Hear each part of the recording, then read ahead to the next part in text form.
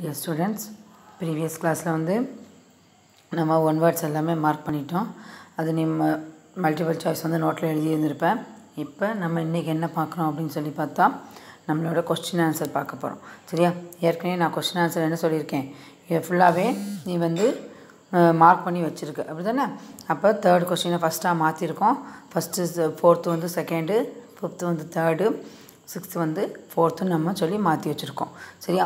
இப்போ first question என்ன அப்படின்னு சொல்லி பார்த்தா why did William Jones felt the need to study Indian history philosophy and law சரியா? அதுதான் கொஸ்டின் அதுக்கான ஆன்சர் வந்து பேஜ் நம்பர் நைன்ட்டி சிக்ஸில் இருக்குது page number ninety six side அதில் வந்து ஹென்ரி தாமஸ் கால்பர்க் அப்படிங்கிற ஒருத்தரோட பிக்சர் கொடுத்துருப்பாங்க. சரியா? உனக்கு ஒரு அடையாளத்துக்காக சொல்கிறேன் அதில் வந்து மூணாவது ரெண்டாவது பேராகிராஃபர் ஜோன்ஸ் அண்ட் கோல்பர்க் அப்படின்னு சொல்லி ஆரம்பிக்கக்கூடிய அந்த பேராகிராஃபில் மூணாவது லைன் இந்தியன் சிவிலைசேஷன் அப்படின்னு ஆரம்பிக்குது. சரியா? Indian civilization they felt had attained அது அப்படின்னு சொல்லி ஒரு லைன் ஆரம்பிக்குது.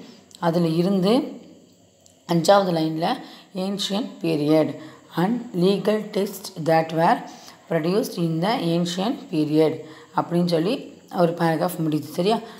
மொத்தம் அஞ்சு லைன் தான் இருக்குது first question page number ninety சிக்ஸில் செகண்ட் பேராகிராஃபில் ஜோன்சன் கால்பர்க் அப்படின்னு சொல்லி ஆரம்பிக்கக்கூடிய அந்த பேராகிராஃபில் மூணாவது லைன் சரியா? மூணாவது லைனில் இந்தியன் அப்படின்னு ஆரம்பிச்சிருக்கு. கடைசியில் இருக்கிற லைன் சரியா? அந்த சென்டென்ஸு இந்தியன் அதில் இருந்து அஞ்சாவது லைனில் ஏன்ஷியன் பீரியட் அப்படின்னு போட்டிருக்கோம் சரியா? அதை நீ கரெக்டாக பார்த்து மார்க் பண்ணிக்க. ஒரு கொஸ்டின் மார்க் பண்ணுறப்ப இந்த வீடியோவை பார்த்துக்கிட்டே உடனே நீ மார்க் பண்ணி கரெக்டாக மார்க் பண்ணிடுவேன் தப்பு தப்பாக மார்க் பண்ணி தப்பாக எழுதிடாது. சரியா? ஒரு கொஸ்டின் எழுதி முடித்தோடனே அந்த கொஸ்டின் அப்படியே படித்து வச்சுக்க. அப்போ ஈஸியாக இருக்கும் உனக்கு. ஃபஸ்ட் கொஸ்டின் மார்க் பண்ணியாச்சு. இப்போ செகண்ட் கொஸ்டின் செகண்ட் கொஸ்டின் என்னென்னா why did James Mill and Thomas Macaulay think that the European education was external in India அதுதான் கொஸ்டின் சரியா? நம்ம அந்த கொஸ்டின்லேயே ஏற்கனவே மார்க் பண்ணுறப்பே மார்க் பண்ணியிருக்கோம். அந்த ஒய் டீட்டை மட்டும் ஆன்சர்னு போட்டு செகண்ட் கொஸ்டின் ஆன்சர் அப்படின்னு சொல்லி போட்டு இந்த ஒயிட் டீட்டை மட்டும் கட் பண்ணிடு சரியா? ஆன்சர் அப்படின்னு போட்டு James Mill and Thomas Macaulay think that European education was external in India because அப்படின்னு சொல்லி போட்டுக்க சரியா? பிகாஸ் அப்படின்னு சொல்லி போட்டு பேஜ் நம்பர் நைன்ட்டி எயிட்டுக்கு வா. நைன்ட்டி எயிட்டில் ஏன்னா அந்த கொஷின்லேருந்தே ஒரு லைன் மட்டும் ஆன்சராக எடுத்து எழுதிக்க.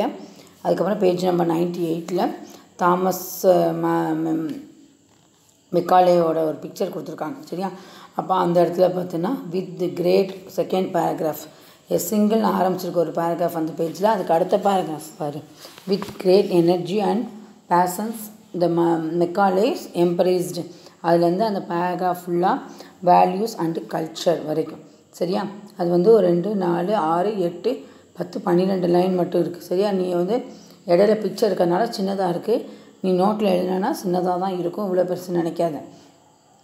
அப்போ கொஸ்டினில் அந்த ஒரு லைனை சேர்த்து எழுதிட்டு பிகாஸ் அப்படின்னு சொல்லி போட்டு with the great energy and passion அப்படின்னு சொல்லி என்ன செய்கிற இந்த லைனை சேர்த்து எழுதிட்டு வேல்யூ அண்ட் கல்ச்சர் அதோட என்ன செய்கிற செகண்ட் கொஸ்டின் வந்து உனக்கு முடிஞ்சிருது. இப்போ இந்த ஃபஸ்ட் கொஸ்டின் எழுதி முடிச்சுட்டு செகண்ட் கொஸ்டினாக கொஸ்டின்லேருந்தே ஒரு லைனை சேர்த்து எழுதி இதையும் சேர்த்து எழுதி முடிச்சிடு சரியா? With the with great energy and passions Macaulay emphasizes the need to teach English language. He felt that knowledge of English would allow the Indians to read some of the finest literature of world had produced. It would the world had produced it would make them aware of the developments in Western science and philosophy. The teaching of English could thus be, be a way of civilizing people. Changing their tastes values and culture சரியா? அந்த மாதிரி நீ என்ன செய்கிறேன் இதை மட்டும் எழுதி முடிச்சிடு. இதோட செகண்ட் கொஸ்டின் முடிஞ்சிருது. அடுத்து நம்ம தேர்டு ஃபோர்த்து நம்ம பார்ப்போம். Next third question third question என்ன அப்படின்னு சொல்லி பார்த்தா why did Mahatma Gandhi want to teach children handcraft சரியா? அது அதோட ஆன்சர் வந்து பேஜ் நம்பர் ஹண்ட்ரட் அண்ட் த்ரீயில் இருக்குது ஃபோர்த்து கொஸ்டினுக்கும் அதே பேஜில் தான் ஆன்சர் இருக்குது சரியா? நீ அதை கரெக்டாக மார்க் பண்ணி வச்சுக்க. கீழே இருக்கிறது தேர்ட் கொஸ்டின் மேலே இருக்கிறது ஃபோர்த் கொஸ்டின் இப்போ third question page number hundred and three Rabindranath Tagore Mahatma Gandhi எல்லோரும் இருக்க மாதிரி ஒரு பிக்சர் கொடுத்துருக்காங்க பார்த்தியா அந்த பிக்சருக்கு நேராக இருக்கக்கூடிய பேராகிராஃபு வெஸ்டர்ன் எஜுகேஷன் அப்படின்னு சொல்லி ஆரம்பிக்குது. சரியா? Western education Mahatma Gandhi said focused on reading and writing rather than oral knowledge in valued textbook rather than lived experience and the practical knowledge. He argued that education out of out to develop a person mind and soul. The literacy are simply learning to read and write. By itself did not count as education. The people had to work with their hands learn a craft and known how different things operated this ஒரு develop the mind and the capacity to understand சரியா? இதுதான் third question அந்த western எஜுகேஷனில் ஆரம்பித்து அடுத்து வந்து the capacity to the understand அப்படிங்கிறது அந்த பேராகிராஃபில் முடியுது.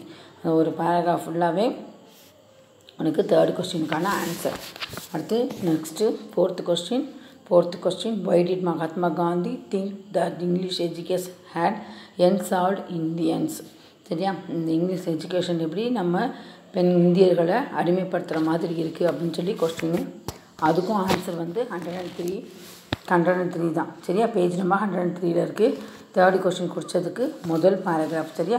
நம்ம கடைசி பேராகிராஃப் தேர்டாக தேர்ட் கொஸ்டின் குடிச்சிருக்கோம்.